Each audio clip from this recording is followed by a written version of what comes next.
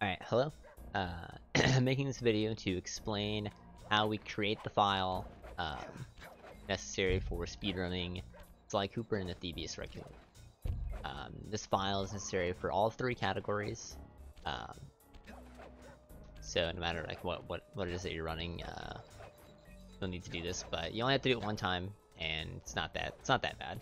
A little tedious, but once once you're you're done with it, you're done with it. So uh, starting off here, what you're gonna need is you're gonna need a file that has access to the hideout and all five of the little like pinned up maps that Bentley uh, has you use to like navigate the hub worlds. And then you'll need two new game files. Um, I'm gonna start with the the one on the very bottom, and we're just gonna load it like normal, like we would if we were gonna do a new game. And then we are going to load the game to skip this opening cutscene. After that, uh, I'm going to save, and then I'm going to save again on this file in the middle. now, if you would like, you can do this now, or you can do it at any point. Um, you're allowed to change like your camera controls and whatnot, and the speakers and music or anything you like, need to change on this like pause option screen. If you want to change that, um, you can do that now. Um, it's a little bit easier. You don't have to do it like during the run and like lose time do it. Um, so now that we've made both of these save files, I'm gonna go back down to this bottom one. Um, just for myself.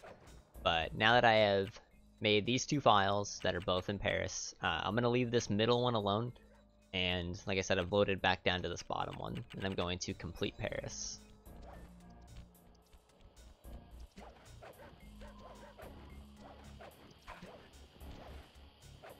And the reason why we're doing this is we're going to watch this cutscene uh, on this file and then I will uh, I'll meet you guys back in the uh, hideout.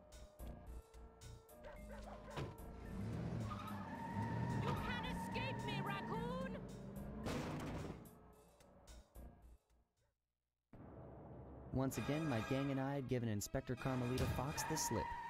I was surprised to see how well she took it. Finally, the secret police file I'd been searching for all these years. With this, I could avenge my family and regain possession of our most valued treasure. It all began when I was just a kid, bouncing on my father's knee. You see, I come from a long line of master thieves who kept all their secrets of sneaking and stealing in an ancient book. The Thievius Raccoonus. Anyone who read it learned to be especially sneaky, which is why we specialize in stealing from criminals. After all, there's no honor, no challenge, no fun stealing from ordinary people. You rip off a master criminal, and you know you're a master thief. Well, on the night I was supposed to inherit the book, five visitors came unannounced to our door. My father fought to protect us, but the gang of villains known as the Fiendish Five overpowered him and ransacked our house until they found the Thievius Raccoonus. Our family's manual of thieving greatness fell into their filthy hands.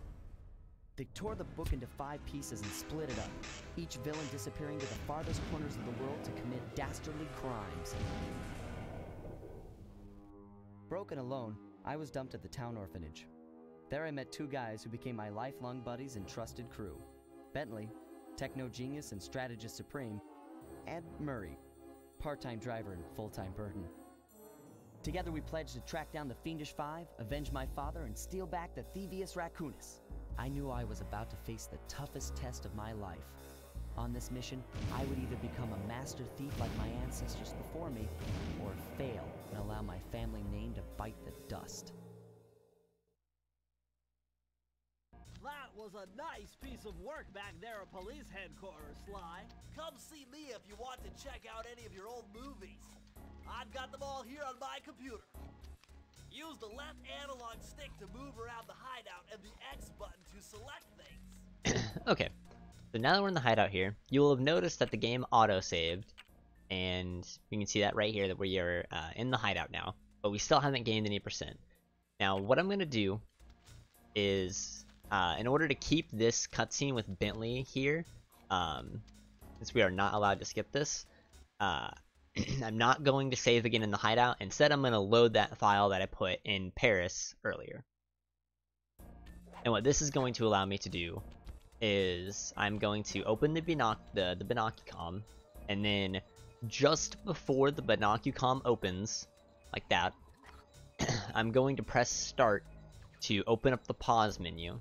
And what this is gonna do, uh, I was really quick. I got it, but it was really quick so you couldn't see it. So I'm gonna do it again. You, you, you might have seen it there.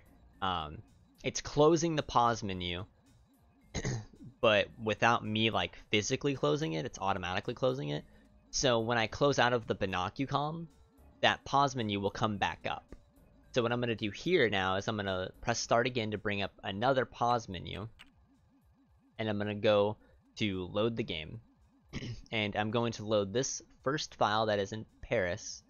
And then I'm going to press the R1 button to close the Binocucom out, which will then bring up a second pause menu, allowing me to load the hideout file. And what that's going to do is it's going to bring that file that's in the hideout back to Paris with having watched the outro cutscene of Paris, but still leaving the Bentley cutscene intact. so the inputs for this are going to be X, R1, down, X. So here we go. X, R1, down, X. And now this file is here in Paris again. And now that we've done that, um, I'm going to save one more time just to be absolutely certain that I'm here. Uh, but from here on, um, everything is going to take place on our hideout file uh, with the 100% in my case. Um, just any completed file will do. And whatever file you are currently wanting to put all of the cutscenes on. So just to make that 100% clear, I'm going to delete this file. So now we have skipped the cutscene on this third file for exiting Paris. Um, we still have the Bentley cutscene in the hideout intact, and now we are going to go skip the other five cutscenes. So what you're going to do from the hideout on your completed file is you are going to pan over to the portrait that you want to skip. Uh, in this instance, I'm going to be doing Tide of Terror first. I'm going to open up the options menu I'm going to go down to my Paris file. I'm going to load it, and then during the like fade out of me loading back into Paris, I'm going to press X a second time so I can select the portrait for Tide of Terror. And this allows me to watch the cutscene on the other file. I will The meet you guys back in the Paris. time I needed to study up on Sir Raleigh the Frog. As a young man, this hot-tempered frog grew bored of his life of luxury and privilege.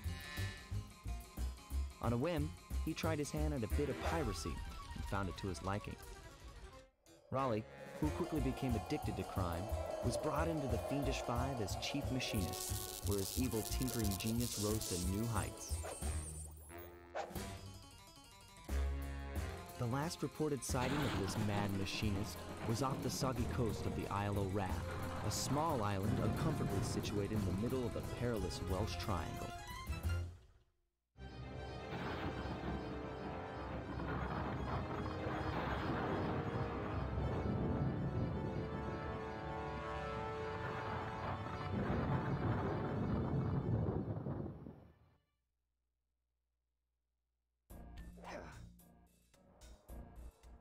Okay.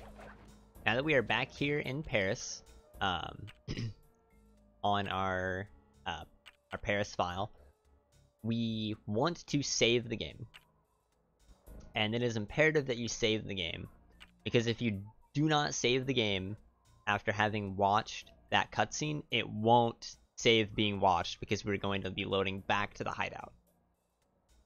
So what I'm going to do now that I have saved the game here I'm going to load back to the hideout on our completed file. and then this time, I'm going to pan over to Sunset Snake Eyes. I'm going to do the exact same thing. I'm going to go down here, load my Paris file, and then watch the cutscene. I will see you guys back in Paris. It had been a while since I'd been back in the US. Next up, the notorious Muggshot. Ruthless muscle of the Fiendish Five. What he lacked in brains, he definitely made up for in brawn. Turns out he wasn't always that way. He grew up as the run of the litter, a neighborhood weakling. The only friends he could turn to were usually found on the big screen. It was there that he spotted his first gangster, and he knew instantly that that's what he wanted to be. He spent the rest of his youth working real hard to get there, fueled on his dreams of great power and respect. With enough perspiration, he realized that dream.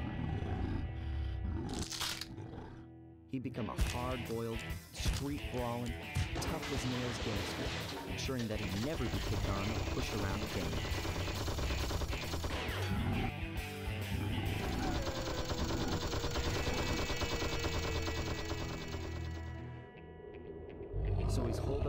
City, huh? I've always wanted to go to that thriving American boom town.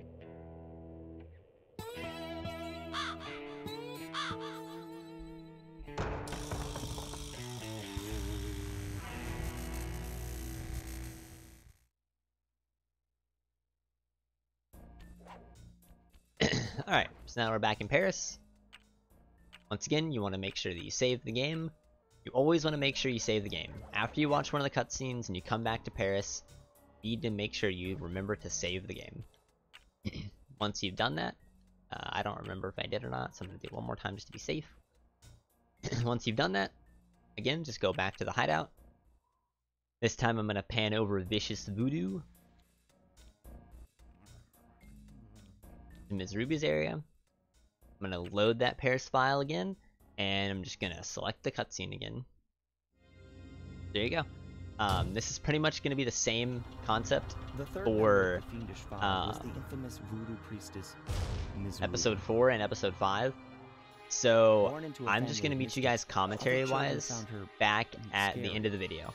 Teaching Um, herself to summon the undead yeah. provided what few friends she had. A career in crime allowed an adult Ms. Ruby to punish the world for fearing her as a child.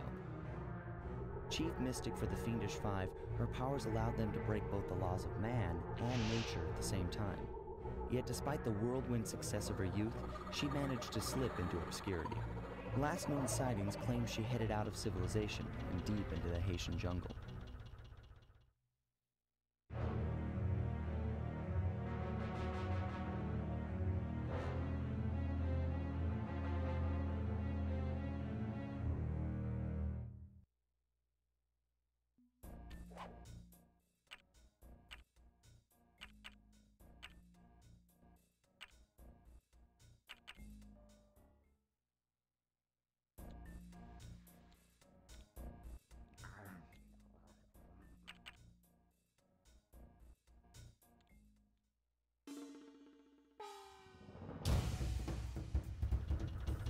Road trip gave me the time I needed to study up on the Panda King.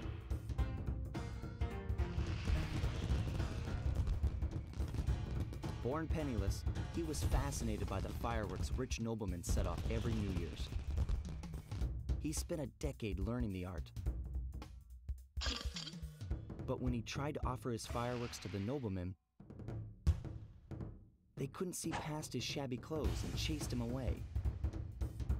Humiliated, the Panda King took revenge on those who shunned him by using the very tools of his art for crime.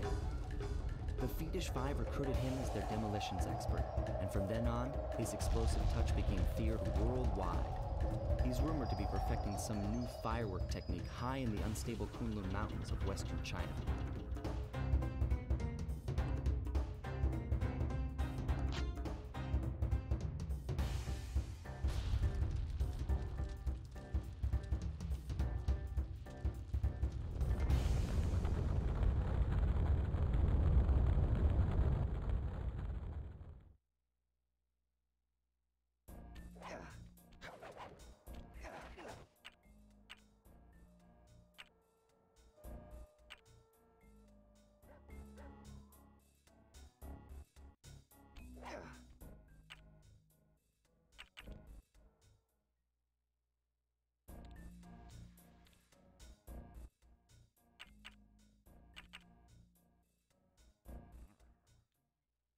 We were on our way to the Krakkarov volcano in Russia.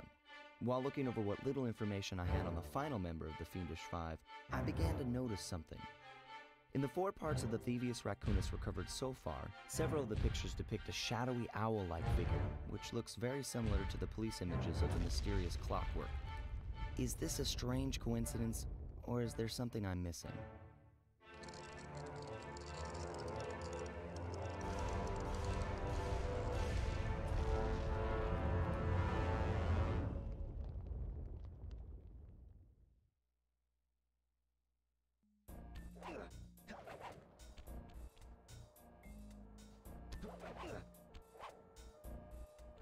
Alright.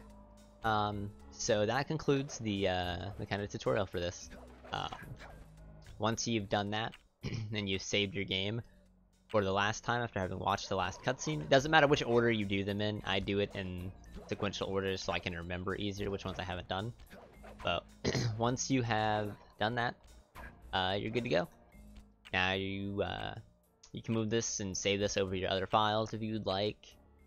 That way you can have multiple copies of it. That way you don't lose them. And uh, timing for the run starts now when you select, uh, when you press X to load this file. So timing would start now, right as I pressed X.